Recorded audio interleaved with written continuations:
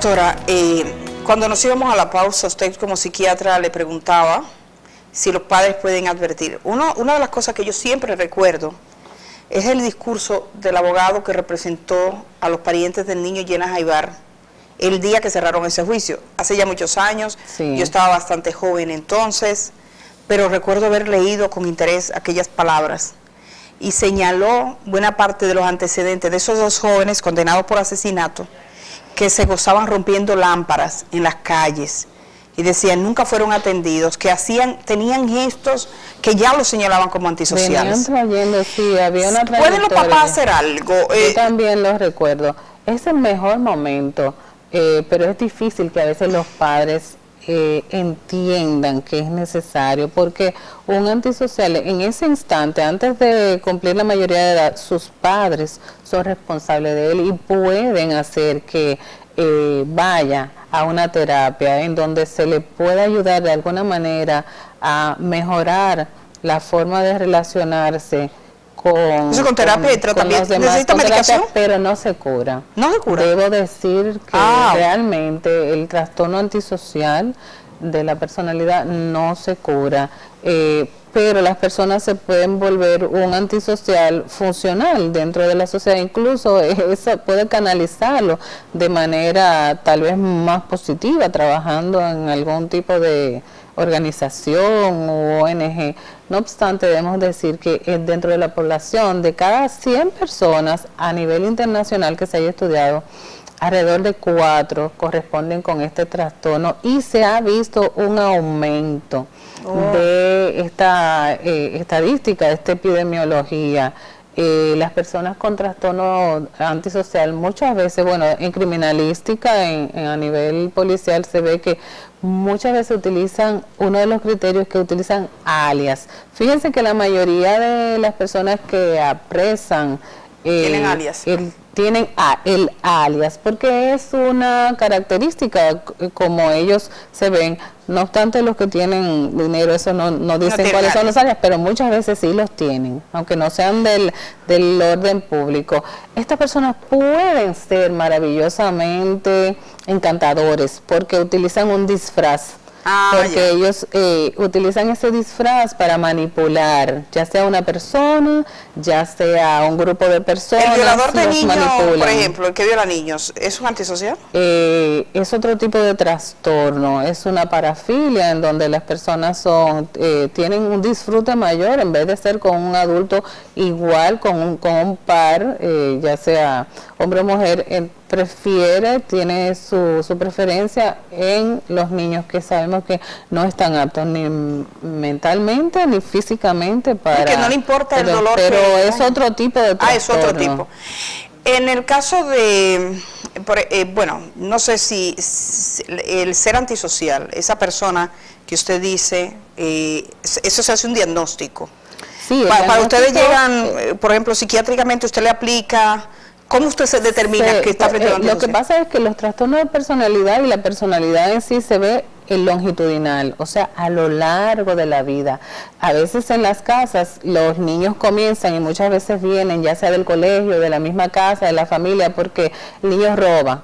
El, el, niño hurta de la cartera de mamá o el niño hurta en el colegio algunas cosas y a veces los padres le pues le amonestan o le dan un consejo, pero ya muchas veces eso se convierte en algo eh, frecuente dentro de un niño que está robando, porque roba y a veces roba y, y tú lo ves y tú dices, pero ¿qué, hiciste con el dinero? No, fue al colmado y lo gastó todo. Eh, y su eh, familia no roba, no tiene a nadie robando. bueno, porque una de las teorías que hay en cuanto a la personalidad antisocial es eh, la herencia. Ah, sí. Es la herencia. Y una vez a mí me tocó evaluar dos niños pequeños en mi rotación por el hospital doctor Robert Cabral. Y los niños venían por ese problema. Eran niños como de 7, 8 años, lo mandaba a la escuela. Eh, cuando se le hace el interrogatorio a la mamá y se le pregunta por el papá, pues el papá estaba preso por justamente por estaba preso en la victoria y es que hay una relación directa eh, de herencia, en cuanto herencia y ambiente influyen. Eh, esa persona se ha probado si hay algún eh, trastorno físico en el cerebro, un cable mal puesto. Cuando la gente dice, sí, eso que la gente dice, ese, ese tiene un cable cruzado. es una manera de expresar que tiene Obviamente que hay, hay alteraciones a nivel de la corteza frontal y prefrontal, todo lo que tiene que ver con las personas planificar el, el futuro, cuáles son las, eh, las consecuencias de las acciones que yo estoy haciendo, pero a ellos no les importa realmente eh, lo que vaya a pasar en el día de mañana o en un futuro, a ellos les importa tener una satisfacción en el día de hoy y para eso trabajan. Y para tener el, el, el control. Para tener el control y para salirse con la suya para eh, obtener para sí mismos eh, satisfacciones, ya sea eh, físicas, ya sea económicas, ya sea de poder, tienen muchas veces fantasías de poder y lamentablemente pues estamos viendo como que al ser de tipo hereditario, esas personas también son padres irresponsables, entonces van por ahí teniendo descendencias y no, no le importa. A veces Pero a veces, doctora, el entorno ayuda mucho, porque, por ejemplo, yo supongo todos los seres humanos son seres humanos, somos seres humanos, o sea, cuando nace un niño nace en blanco, aquí en África o en China, no. No, esa es una teoría que se ha discutido mucho dentro del ah. mundo científico, que si el niño nacía como una hoja en blanco, pero se ha visto que no, nosotros venimos preprogramados, realmente ah. somos como como computadoras y se ha visto haciendo los genogramas y los genomapas de las familias, que hay temas familiares, no venimos como no venimos en blanco. Un, niño que, una persona adoptada, un niño que es eh, lo dejan abandonado, lo asume una familia y ese niño trae ya una, programación y se ha visto en gemelos monocigóticos, o sea, son gemelos idénticos que se separan y van a dos familias diferentes y muchas veces eh, en su personalidad tienen características similares. Claro, el ambiente influye, pero también la genética y no venimos en blanco, venimos preprogramados. Ah, claro que la, la manifestación en parte va a depender del ambiente, como tú decías. Porque tiene normas. Sí. Doctora, eh, ese, ese ejemplo que usted escogió me hizo recordar algo, cuando usted dijo de los niños que roban. Hemos visto familias, eh, porque a fin de cuentas, una madre, un padre, dentro de sus recursos lo que quiere es solucionar un problema. Y hemos visto padres, madres aquí, en los campos sobre todo, que queman la mano de niños. No, ya eso... Yo tengo un niño que roba, ¿qué yo tengo que hacer? Eh, no, eh, a los padres se les recomienda elegir los valores.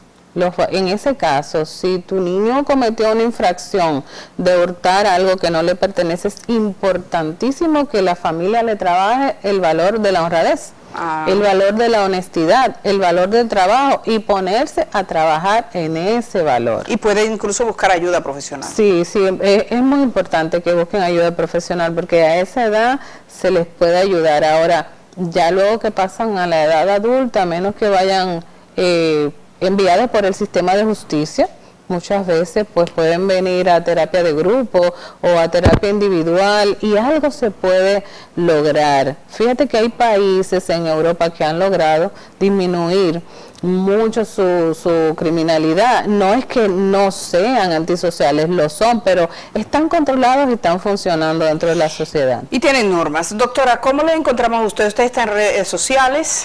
Así es, estamos en, en Facebook como la psiquiatra de vida. La psiquiatra de vida.